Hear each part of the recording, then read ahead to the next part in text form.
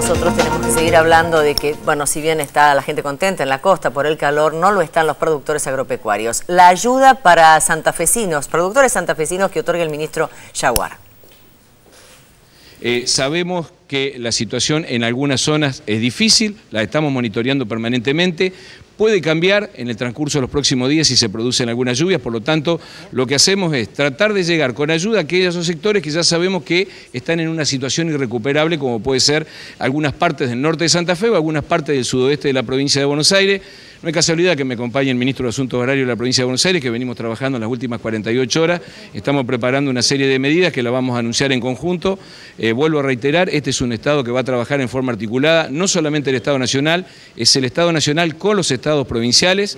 Eh, la semana del lunes 16 está viniendo el gobernador de la provincia de Santa Fe para firmar el convenio este, que va a otorgar los primeros 5 millones de ayuda para el sector del departamento 9 de julio, que son los departamentos de la zona más complicada del norte de Santa Fe.